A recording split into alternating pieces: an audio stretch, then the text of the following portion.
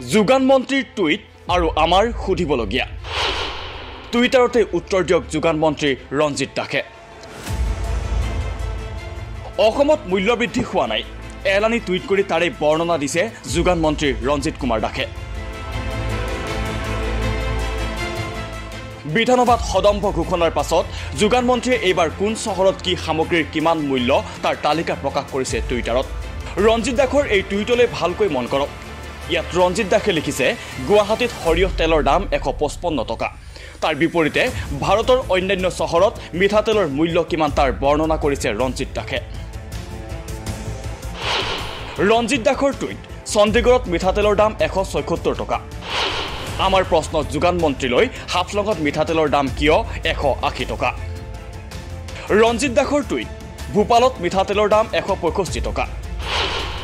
আমাৰ প্ৰশ্ন যোগান মন্ত্ৰীলৈ ওদালগুৰিত মিঠাতেলৰ দাম কিয় এশ তেসত্তৰ টকা?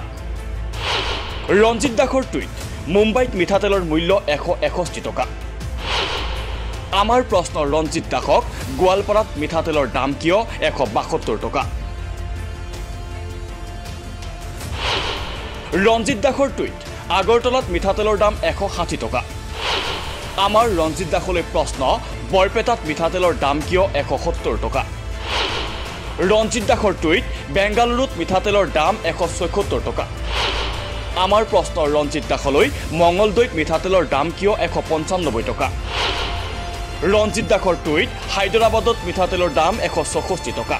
কিন্তু ৰঞ্জিত দাসলৈ আমাৰ প্ৰশ্ন অসমৰ বজালীত মিঠাতেলৰ দাম কিয় এশ তেসত্তৰ টকা?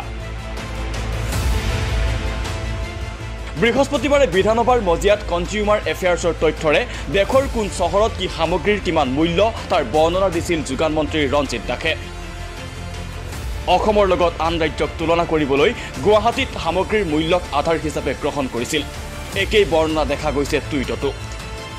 যোগান মন্ত্ৰীয়ে গুৱাহাটীত মিঠাতেলৰ মূল্যক তুলনা কৰিছে দেশৰ আন চহৰৰ মূল্যৰ সৈতে।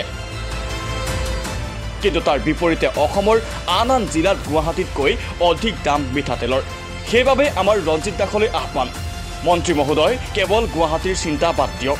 ৰাজ্যৰ আন আন জিলাৰ মূল্য বৃদ্ধিৰো খবৰ লওক। আৰু তাৰ পাছত উত্তৰ দিয়ক হায়দৰাবাদত মানুহে যদি এশ চৌষষ্ঠি টকাত মিঠাতেল খায় তেন্তে অসমৰ মঙলদৈত মানুহে মিঠাতেল কিনিব লগা হৈছে কিয়? এশ পঞ্চান্নব্বৈ টকাত।